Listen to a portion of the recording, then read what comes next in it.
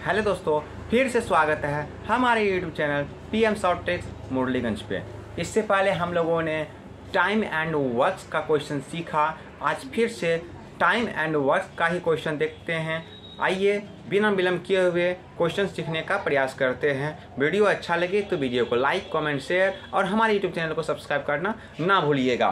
Question दिया हुआ है बोर्ड पे, ए एक काम को पंद्रह दिनों में कर सकता है। और उसी काम को बी पच्चीस दिनों में कर सकता है। यदि दोनों मिलकर काम करे तो काम कितने दिनों में पूरा होगा? तो बिना विलम्ब किए हुए आइए, हम फॉर्मूला लिखते हैं। फॉर्मूला क्या है?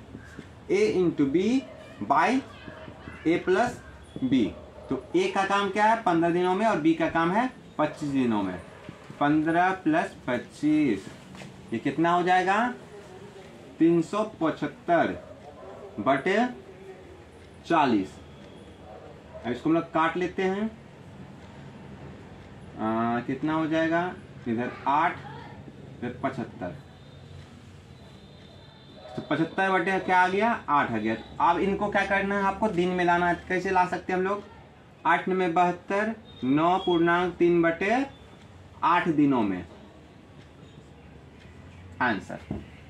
इसी तरह के वीडियो को सीखने के लिए और नए नए चीज़ों को जानने के लिए हमारे यूट्यूब चैनल को सब्सक्राइब करें। मिलते हैं नेक्स्ट वीडियो में। Thank you so much